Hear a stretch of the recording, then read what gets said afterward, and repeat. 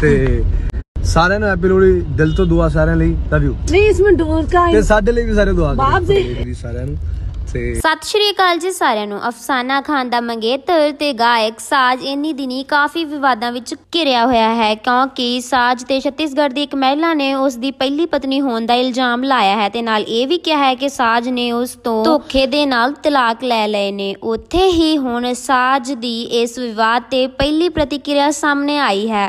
ਜੀ ਹਾਂ। ਸਾਜ ਨੇ ਇੰਸਟਾਗ੍ਰam ਸਟੋਰੀਜ਼ ਵਿੱਚ ਇੱਕ ਵੀਡੀਓ ਸਾਂਝੀ ਕੀਤੀ ਹੈ, ਜਿਸ ਵਿੱਚ ਸਿੱਧੂ ਮੂਸੇਵਾਲੇ ਦਾ ਗੀਤ 295 ਸੁਣਾਈ ਦੇ ਰਿਹਾ ਹੈ। ਵੀਡੀਓ ਦੇ ਨਾਲ ਸਾਜ ਨੇ ਲਿਖਿਆ ਹੈ, ਮੁਸੀਬਤ ਤਾਂ ਮਰਦਾਂ ਤੇ ਪੈਂਦੀ ਰਹਿੰਦੀ ਹੈ।